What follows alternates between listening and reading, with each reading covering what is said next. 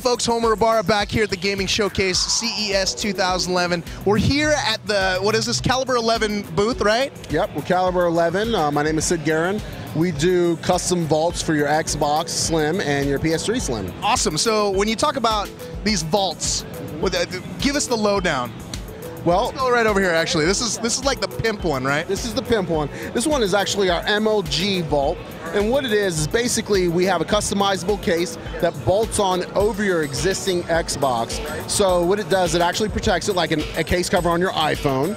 Um, our footing keeps it from actually falling over, so it actually stabilizes it better, and it also promotes more airflow. We lift the boxes up so you don't have the overheating issues that a lot of the boxes sometimes have. When we designed the MLG Vault, we had to think inside, like, all right, what is going to represent MLG? It's a competitive gaming. You go to gaming, you bring your game face. so you better bring your game face. Oh, you absolutely have to. So this is like a cyborg game face coming out the side of your Xbox. How cool is that? And um, it lights up via USB port, red versus blue. I mean, it has a lot of different colors on there.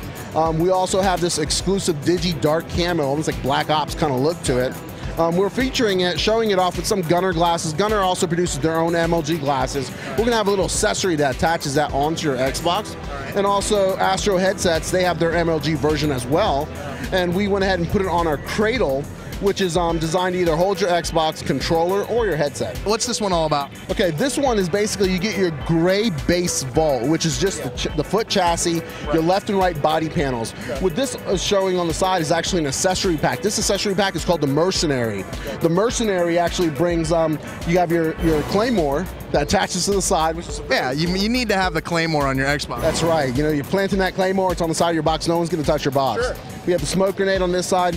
Around the other side, we actually have the control, the controller cradle, which holds on to um, the controller or your headset. Right. And we have an M16 clip on the side right there. Obviously. Now, with all of our vaults, the cool thing about it, you can pick your color. We have red, we have white, we have blue, we have green. This is a Battleship Gray. We have nameplates in the front, which you go online, you pick the background you want, whether it be blood splatter, rivets. This one has bullet bandoliers, and you pick your gamer tag or your clan, and we'll print it on there and ship it out to you. So you now you have your own ownership of your console.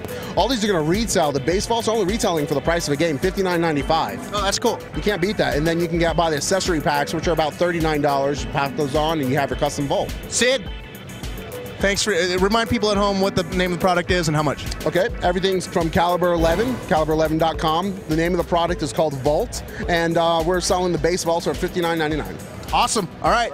Enjoy the rest of your show. That is the latest from Calibur 11. On with the rest of the show.